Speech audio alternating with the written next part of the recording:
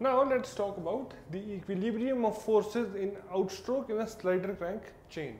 So this is how it will look like. So this is the gudgeon pin of the piston.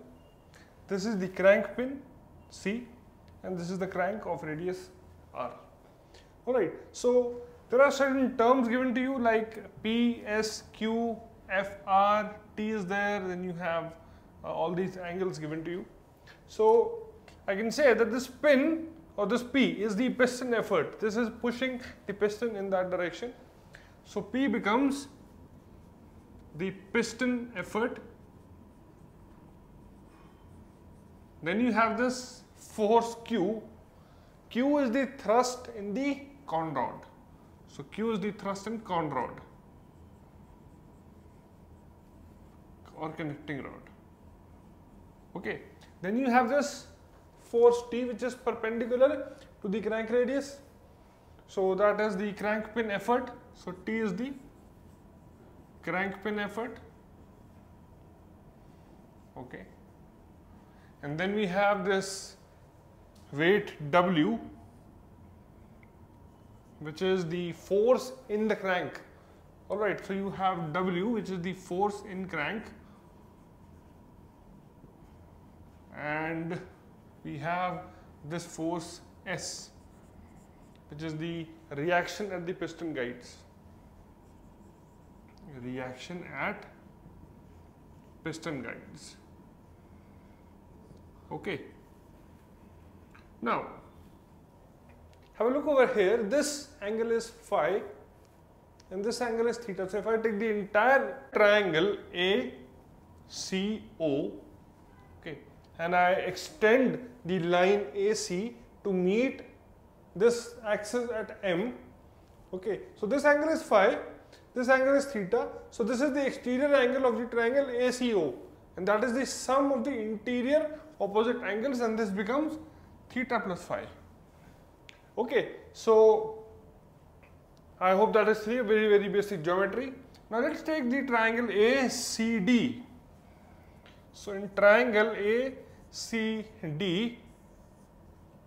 Let's apply the uh, sine rule. So you have P upon this angle, sine of that angle that is the sine of 90 minus phi. So P upon sine of 90 minus phi is cos phi.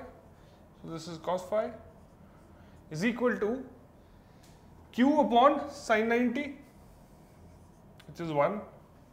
Okay, and then we have S upon sine phi s upon sine phi. Okay, I can uh, combine these two things.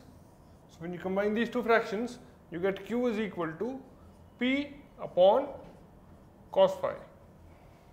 And then I can combine p and s. So you will get s is equal to p tan phi. So these are the values of Q and S. Okay in terms of the piston effort.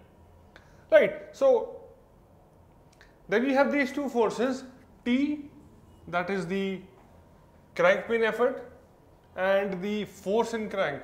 If you look at this very closely and if I re uh, redraw this portion you have T like this and then you have at 90 degrees W and this is the line of action of Q which is at theta plus phi angle to the line of action of W. So I can say that T is equal to Q into sine of theta plus phi and W is equal to Q into cos of theta plus So this is how you can calculate T and W in terms of the thrust in the con rod. So these are the forces and the equilibrium of these forces during the outstroke. Now let's talk about the crank effort.